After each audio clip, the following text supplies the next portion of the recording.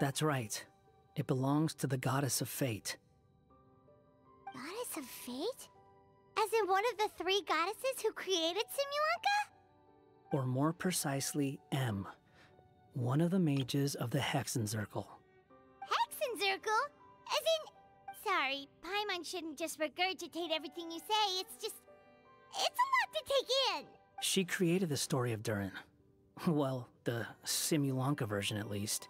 These records should cover most of what you want to know, including the identities of the other two goddesses. Read them.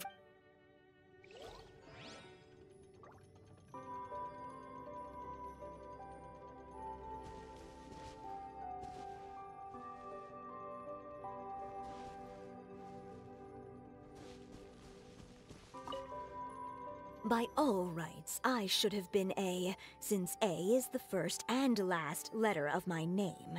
But Alice overruled me on the basis of seniority and said I should be M instead because of my middle name. she really knows how to push my buttons. Still, her magic never fails to amaze me.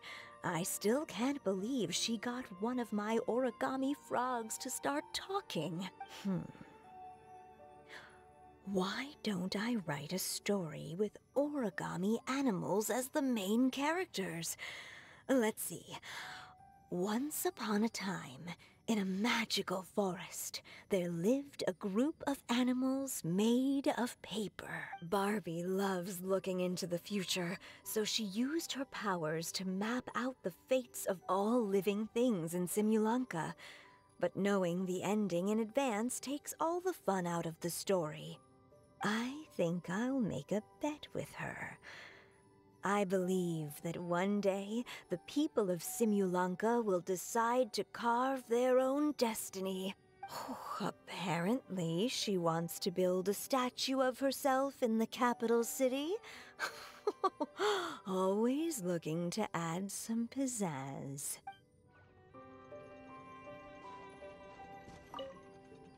My dear sisters, I fear my pen shall soon run dry. Even now, as I write this letter to you, my dexterity is all but failing me. Thank you for enjoying my stories and for creating this world for me. The time we spent together was the most wonderful youth I could have asked for. I always feel so young when we're together. A says that even after I'm gone, the goddess of fate in Simulanka will continue to exist and carry on granting people's wishes it makes me glad. If you ever want to chat, feel free to pay a visit to the goddess statue. Just don't wish for anything weird.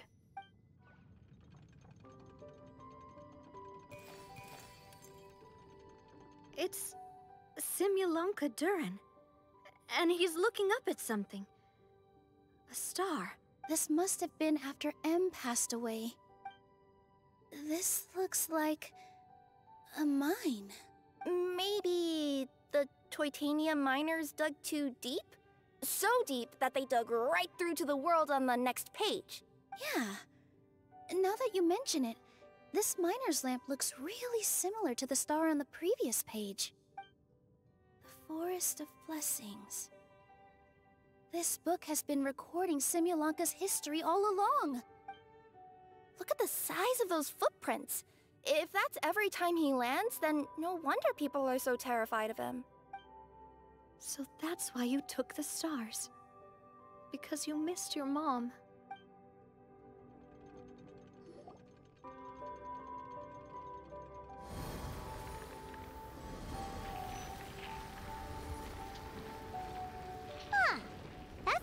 looks different from the one in the Metropole.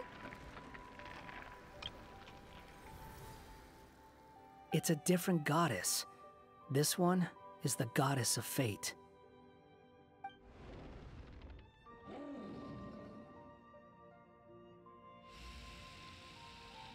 Hmm. It's all right now, Durin. Nobody here wants to hurt you.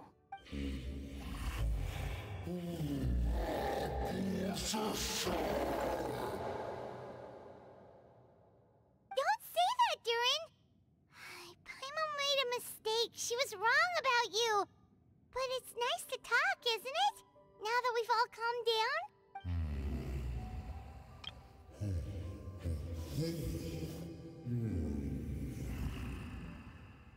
So that's why you made that wish? so stupid. Anyone with eyes can see that all you want to do is get along with everyone. You just want to make friends, people to play with, to talk to, people who accept you, or at least accept your apology.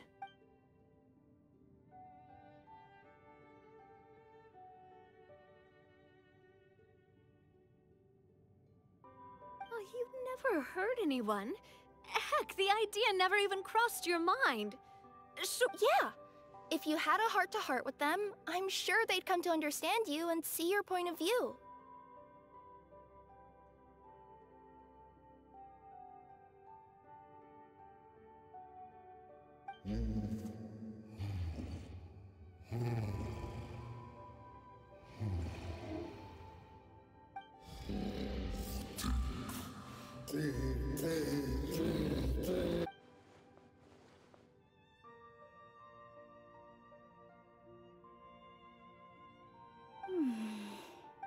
Huh?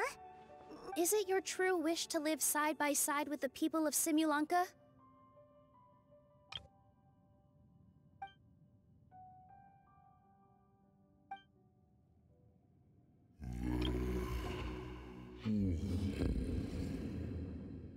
Then close your eyes and make a wish to the goddess of fate. We will help make your wish come true.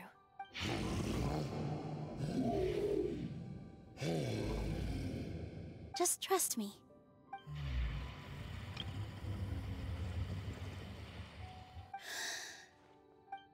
I, Nilou, the Forest Fairy, give to you my blessing and welcome you as a dweller of the forest. May everyone accept you as one of our own, and may the Forest of Blessings be a place you can call home. I, Navia, King of Constellation Metropole, give you my blessing. I grant you citizenship to my kingdom. Oh, me too! As the, uh, Nekomata in Boots of this world, I give you my blessing too. Wait, what's going on? I, the hero of this world, give you my blessing. I recognize you as a resident of Simulanka. Also, speaking as someone who'd like to be your friend, I wish you all the best for the future.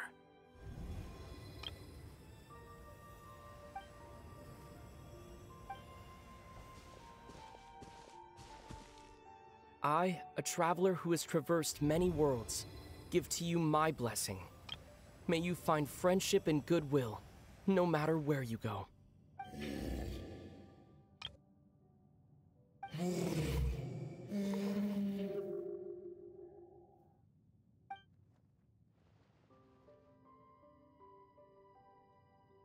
As for this world, I leave it to you. Huh? What? Why are you all staring at me? Huh? My. my claws? Are these my claws? And my wings? Oh, my tail? Does this mean. wow, you look so cute. Quite a radical transformation. Uh, not that there was anything wrong with the way you looked before, of course. It's just. Uh. You get what I mean. How do you feel? Are you happy with your new appearance? Does anyone have a flower with them? Or even just some water or paper from this world? Oh, I do actually. Here you go. They're... they're not changing. I can touch things without changing them. Hey, that's great! One more flying friend for Paimon! Now the residents of Simulanka won't be scared of you anymore. Hmm. But what about all the things that I did before? That's simple. Just go out there and atone. You could fill in the footprints you left on the ground, or help the people around the broken sea get home. Okay. And you'll come along and help me, right, Hat Guy? Huh? Why would I do that? Uh, because you said you wanted to be my friend. You little. Gah. Well, maybe I spoke too soon. Huh? But I thought.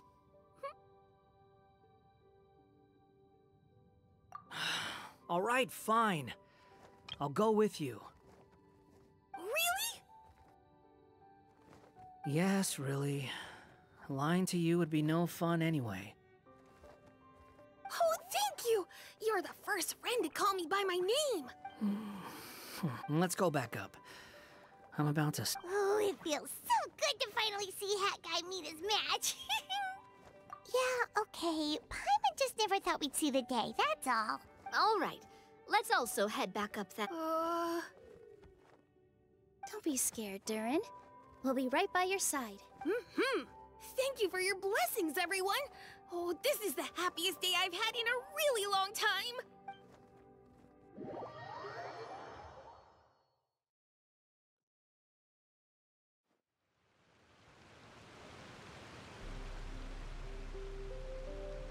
Ta-da! Surprise, everyone! Ah! A talking street lamp! Street lamp? Oh my! You mean you still don't remember me after all the times we've spoken? I know that voice! It's Mom's friend!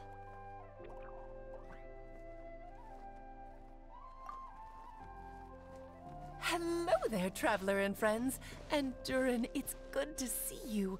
You've changed quite a lot. In fact, you look so different that perhaps I should call you Mini Durin. Mini Durin, huh? Yeah, I like the sound of that. It's nice being smaller. You must be one of the three goddesses of this world. Are you the goddess of creation? Yep, that's right. But although it's the most impressive sounding of the three, to be honest, we all made an equal contribution toward the founding of this world. If you've ever read any of M's stories, you'll know just how enchanting the worlds are that she writes about. So enchanting that I just had to step inside and explore it for real. So I got B involved, and with M's consent, created the world of Simulanka. Whoa, whoa, whoa! You're getting a little ahead of yourself. First things first, would you mind explaining what you're doing here? In fact, no! What are we even doing here? Don't worry, all will be revealed. After everything you accomplished on your journey, you're free to ask me anything you want.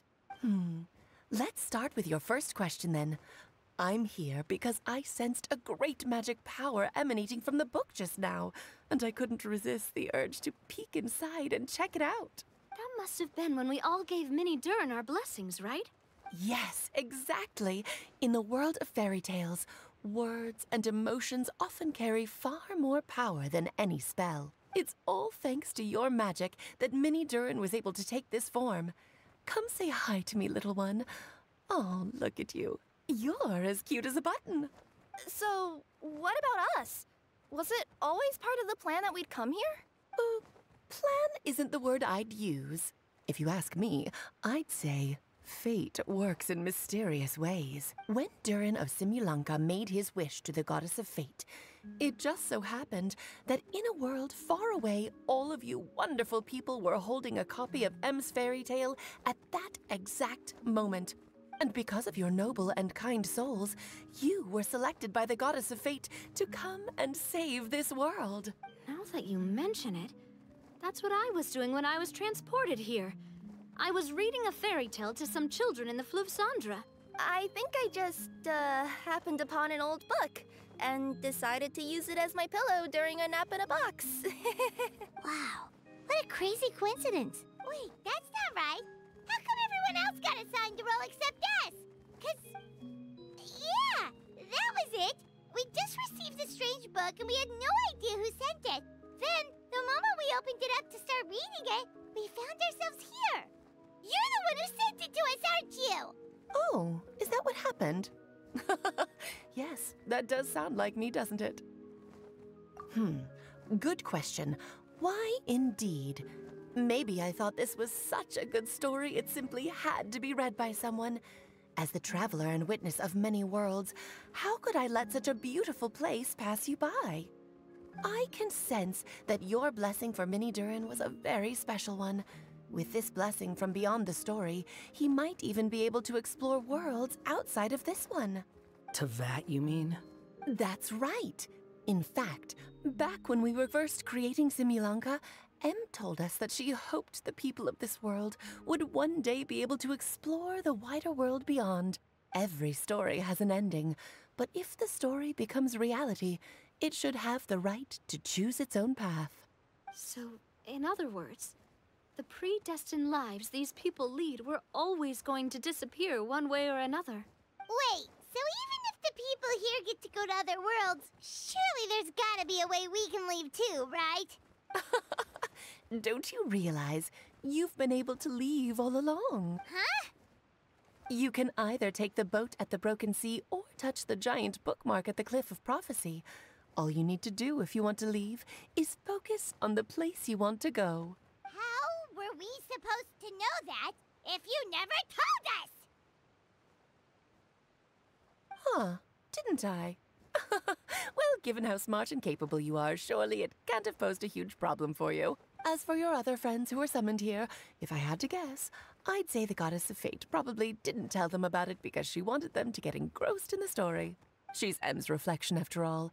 It wouldn't surprise me if she shares M's love for cliffhangers. Anyway, I think that answers your questions, yes? What do you all plan to do next? I. I'm gonna go say sorry to the people of this world.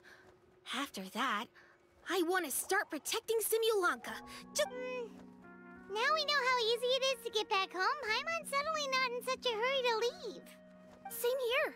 It's not every day that you get to come to such a magical world. I, for one, plan to explore it a little longer. I'm glad to hear it. Maybe I should invite some other friends to join you too. By the way, Mini Durin, I'm delighted to see you've made some new friends.